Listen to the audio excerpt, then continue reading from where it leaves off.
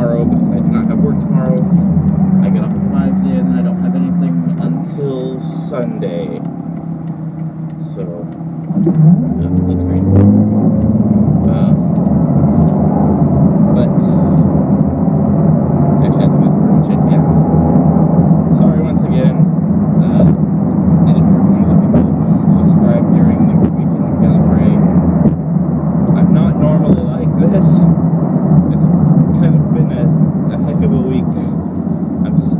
Not.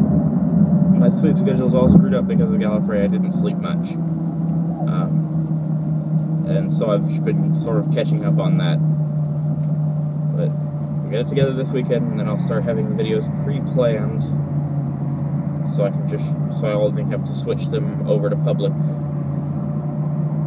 and that'll be the end of it. So, uh, thank you for watching. Enjoy your day, and I'll see you in the next video.